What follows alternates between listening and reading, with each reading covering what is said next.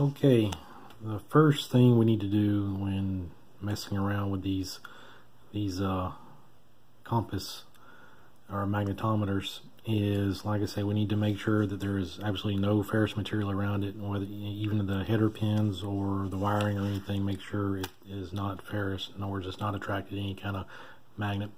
And even um, even any kind of screws in your in your mounting, you want to make sure there is no no screws that are magnetic in any way, because um, they can definitely throw off your your readings. So make sure that you don't use any screws or anything anywhere around here. Make sure you probably need to use zip ties or electrical tape or whatever else you need to use, but uh, keep anything metal away from these magnetometers.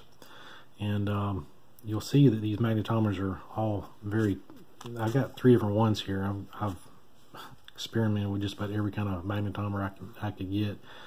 Um, because I never, uh, I was having problems making, I was thinking there was something wrong with the magnetometers, and turns out it wasn't the magnetometers it was really the problem. It was, it was the ferrous material. So anyway, I've got quite a quite a selection of magnetometers. I got a whole bag full of them. So anyway, um, but you can see that they're all labeled pretty much the same thing. You got uh, VCC, which is your power. You got ground, GND. You got SCL and SDA, and those are your your uh, data lines there. So anyway, uh, if you, you might notice in some of my some of my videos that um, I always almost always try to use red as a VCC and um, I can get a good picture of this here. Usually red is VCC, uh, green is ground, and then yellow and blue are usually my my data lines. So anyway, I usually try to try to stick with that. It makes life simple. So anyway, what you're going to need here for this operation is just four wires, and you're going to need your magnetometer. And like I say, they're all design. They're all pretty much designed the same way. There's very very little difference. Sometimes the positions of stuff would be a little bit different, but um, so I'm gonna hook up our red to VCC and we got our green is to be ground right here. And then we got um, yellow and blue are our are our data lines. I'm trying to remember now which one is which. I want to say see here. SCL SCL is going to be yellow. So that's where yellow wire is going to go is SCL and then our blue wire is going to be SDA so that's how that wires up to that end of the magnetometer just like that alright next we're going to be uh, attaching our compass to this this shaft here I'm not sure if I mentioned or not, but I uh, actually got uh, the design for this. I 3D printed this thing. It's actually a modified version of a design that I saw on Thingiverse, I believe it was. And so, um, so, but you can, you don't have to use, you don't have to 3D print one if you don't want. Uh, you can use like wood, wood is fine, or um, any kind of piece of plastic tubing or something, but somehow or other you need to um, attach uh, the, the compass and have it positioned in such a way that um, it's going to be pointing toward the front of the car, uh, pointing in the same direction and that it, it, won't wobble around or anything. But anyway, it's a um, pretty simple operation. All, we, all we're going to do is wires, wires through there, and uh, going to get it, uh, going to get it mounted, and then we'll attach the wires. Um, two of them are going to go right here to our, uh, there's, there's a power source right here uh, on our motor control module that we're going to use and there's going to be um, some more go, go over here to the uh, Arduino board so I'll show you that in just a second. Alright, so we've got our magnetometer, our compass running right through here and you can see this is just got a little hole slot cut out for these uh, wires and everything to go to so it fits nice and flash, uh, flat and so what we'll probably do is like run a piece of tape over this to secure it and hold it in place. And then next we just need to hook up our um, our uh, power leads right here, our uh, red and our green power leads, our VCC and our ground. And where they're going to go is right here to our motor motor control board right here. See see these little plus and minus signs right here. So we'll hook up our VCC to that, that plus, and then our ground is going to go to the negative side right here. So anyway, I think you can see that. So that's all there is to it. And so now we got power supplied to our to our compass and now we just need to hook up our data lines. All right, so now we got our, our data lines. Now, I kind of screwed up because the uh, data lines I had, they were both uh, female ends on it, and on the uh, on the power supply lines, now they both have to be female ends, but on the data lines, we need the other side to be um, male on one side and female on the other side. So, anyway, so I made that correction there. So, anyway what we need to do is hook up our yellow wire. It's going to go to our SCL right here. Can you see that in pin number 21 right there? You see that number 21 and anyway that's where that's going to be going to is pin number 21 and then our blue wire is going to be going to pin number 20 right there so that's how we'll, we'll hook those up. Alright, just like that. Okay, so now we got our uh, compass mounted up here. Um, got our wires run to our Arduino board. Got power supplied to it. And got a little bit of electrical tape on it or a little bit of tape on here to hold the wires in place. I'll probably do something different with that. And so next, now we need to move on and mount our GPS module on here. Okay. Okay, so here's our GPS module right here. Uh, like I said, this is a U-Blox uh, Neo 6M.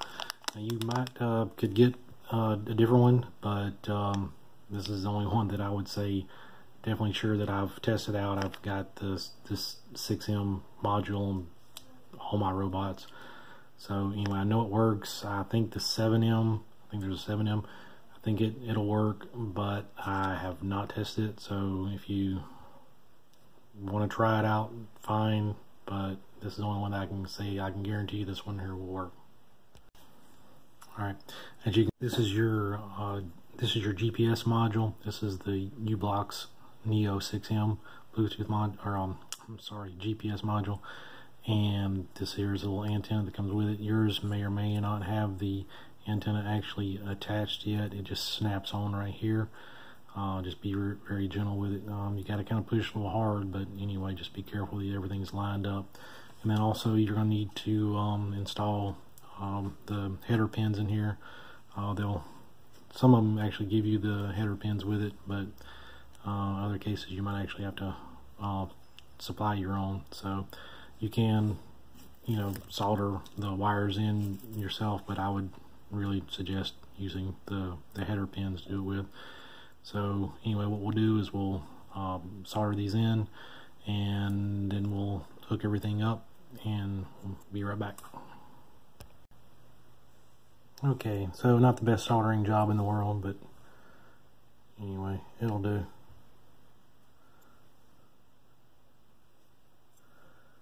So anyway, now we got our pin solder on there and now we can just wire it up and should be good to go. Okay, um, our DuPont wires, to need um, ones with um, female end on one side and the male ends on the other side. And we'll just hook it up our kind of same deal, VCC. I'm going to use the red wire. You can use whatever color you want to, but I usually use red on for VCC on most all of my projects. And then we're to need a green wire. This will be our, our ground. It's, in this case, it's on the opposite side there. You can see that. See those those pins there. I can zoom in and get a bit better view here. Uh, you can kind of see that a little bit. VCC is on the left, ground's on the right, and then we got an RX and a TX. So we'll hook up our ground wire. It's gonna be green. And then our okay guys. Um next we're going to be hooking up our uh, uh, data cables our data transmit our uh, rx and tx and our blue wire is going to go to the tx right here on our gps and then our yellow wire is going to go to rx and they're going to look just like that.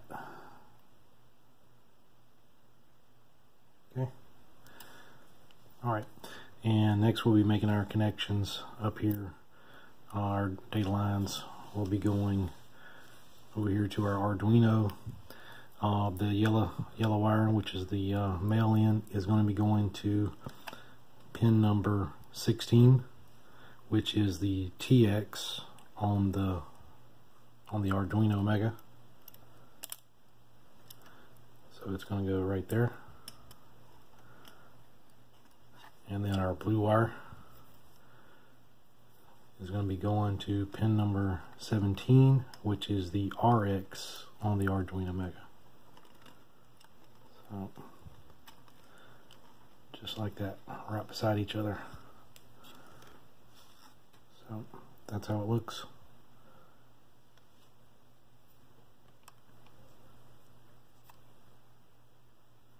and 16 and 17. Okay, next we're going to be uh, wiring up our GPS module to the Arduino. We're going to be supplying the power to it, and as you can see right here, our Bluetooth module, uh, the power lead, the VCC right here, is coming up and going right over here. And this, these two pins right here on the far end, these are 5 volts. So um, what we're going to do is plug our pin in right there, right next to the Bluetooth module. And then, of course, if you come right over here, you can see this is our uh, wire, our ground wire for our Bluetooth module. It's right over here, so we're just going to go right next to it and plug in our green wire right there into our into our ground right there. So now we've got our power supplied to our GPS module. All right. And then what we'll do is we'll get a zip tie and zip tie our GPS to the frame so it doesn't move all around. And that should be it as far as wiring everything up. We've got basically everything we need. Uh, we got our got our compass up here, got our GPS, got our Bluetooth, got our motor control board, got the Arduino, and we got our robot base. And next we'll need to hook up some some power to it and like I was saying before we can we can either hook it up to the um, to the motor control board right here uh, which is probably the preferable way to do it is, is hook it up here. You can see the one side is uh, is marked positive there. Let's see if we can zoom in there. See the one side it's got an M got a positive lead right there. So that's where your positive side is going to go. And then we got our ground going to go in right here. And then we got a uh, jumper wire right here. And you'll need to, uh, um, believe that is going to have to be there. So you can either power it through the the motor control board or not. So that's what that little jumper is, is for. So anyway, we'll um go ahead and hook everything up as far as power leads go and everything. And we'll get back to you. All right.